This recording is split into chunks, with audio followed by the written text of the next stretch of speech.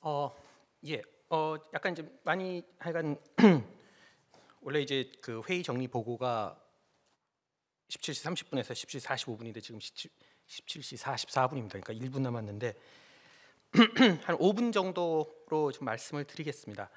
오늘 이번에 그 이제 한국 국정치학회 충고 엑스레이 자유와 국정치는 어 그 김성한 전 국가안보실장님의 이제 기조연설과 첫 번째 세션에서 자유를 위협하는 국제 정치에 대해서 어떤 면에서 이제 이론적인 그 논문 세 개, 그 다음에 이제 오후 두 번째 세션에서 자유를 제약하는 국제 정치에 있어서의 분쟁으로 해갖고 좀 보다 훨씬 더 현실적인 좀 정책적인 부분에 있어서의 이야기들, 그 다음에 이제 세 번째 방금 끝난 이제 세 번째 세션 라운드 테이블의 경우에 있어서는 현실에서의 자유와 국제 정치라는 제목으로 그 진짜 직접 현장에서 이제 그 정책 결정을 하셨고 정책에 직접적으로 참여하셨던 분들의 이제 경험 그리고 그분들에 있어서의 통찰력을 듣는 형태로 이제 구성이 됐었습니다.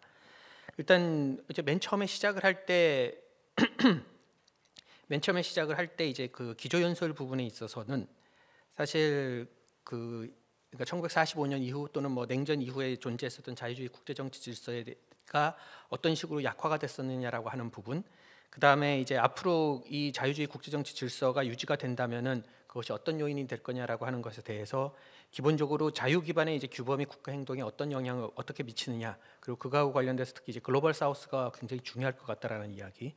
그다음에 두 번째로 어 그렇다 하더라도 자유주 자유주의 국제정치 질서 자체가 어떤 변화 현실에 있어서 나타나는 변화 특히 이제 중국의 부상으로 대표되는 전체적인 세력 균형의 변화에 적응하지 않고 그다음에 변화하지 않으면 안 되는 거고 그렇기 때문에 상당 부분에 있어서 유연성과 탄력성을 가지고 있어야 된다라고 하는 부분. 그다음에 이제 무엇보다도 미국이 가지고 있는 힘을 어떻게 행사할 거냐라고 하는 그 하고 관련된 이제 정치적인 의지가 되게 중요하다라고 이야기가 나왔었습니다.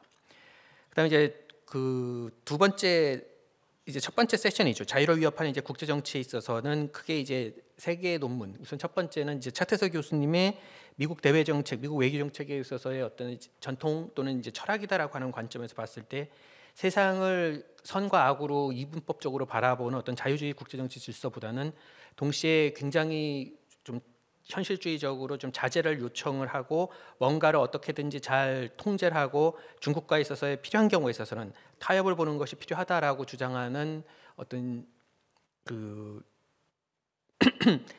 이 그러니까 현실주의적인 전통에 대, 한 이야기들을 많이 하셔, 해 주셨습니다.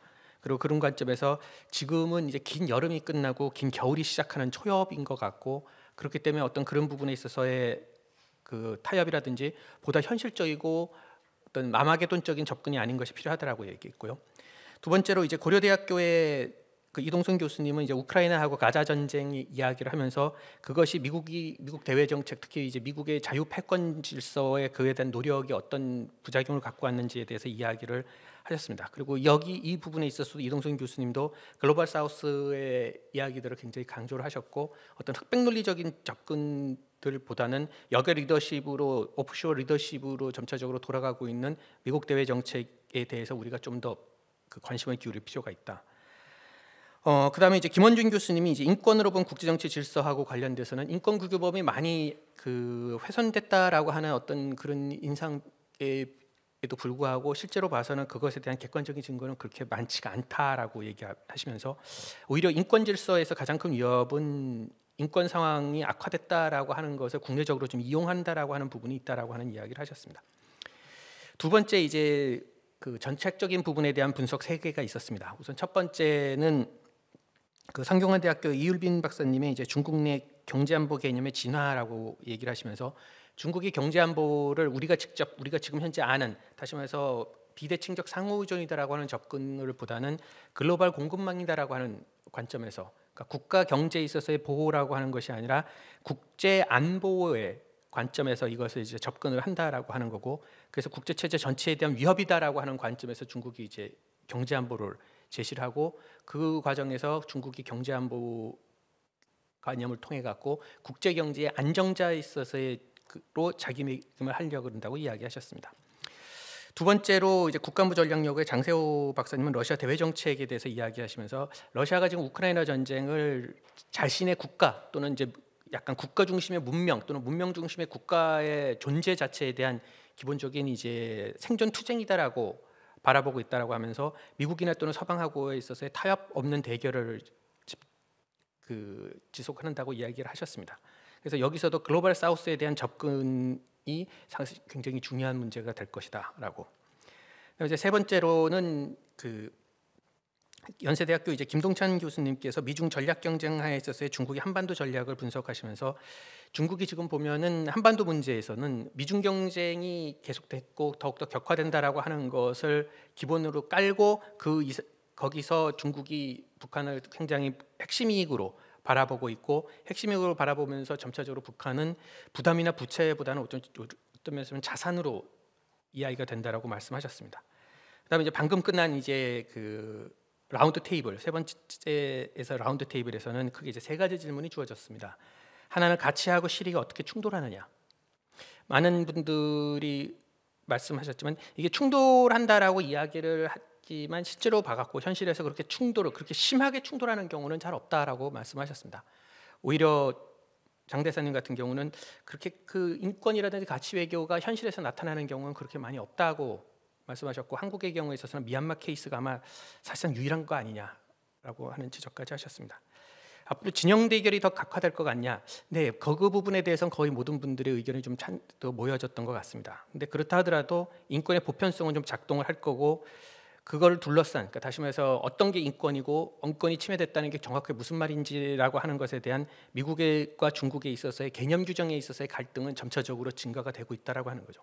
이 부분은 아까 그 고려대학교의 김원준 교수님도 지적을 했었던 부분이긴 합니다. 그다음에 이제 아, 그럼 앞으로 우리가 어떻게 해야 될 거냐? 우리가 어떤 형태로든지 간에 이쪽 보편적 가치에 기반해서 얘기를 하는 것이 중요하지만 동시에 이것이 보편적 가치이기 때문에 우리 혼자서 할 필요까지는 없고 국제사회와 함께 대응할 수 있다라고 하는 것 그것이 굉장히 장점이다라고 말씀을 하셨습니다. 그리고 한국의 가치 외교라고 하는 것은 지금부터 시작인 거고 그리고 북한에 대한 북한 인권에 대한 논의도 그 출발점이라 할 수 있다라고 말씀하셨습니다. 이상입니다. 그래서 51분 이제 딱 끝난 것 같습니다. 예, 감사합니다.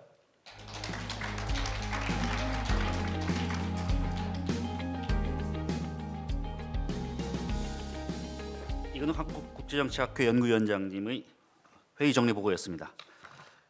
예, 이상으로 9시 45분부터 시작된 한국국제정치학회와 하- 국가안보전략연구원이 공동 주최한 2024년 한국국제정치학회 춘계학술회의의 모든 일정이 마무리되었습니다. 어, 귀한 시간을 내어 참여해 주셔 좋은 의견을 공유해 주신 사회, 발표, 토론자분들 그리고 청중분들께 다시 한번 감사의 말씀 드립니다. 그럼 이상으로 오늘 행사를 모두 마무리하도록 하겠습니다. 긴 시간 고생 많으셨습니다.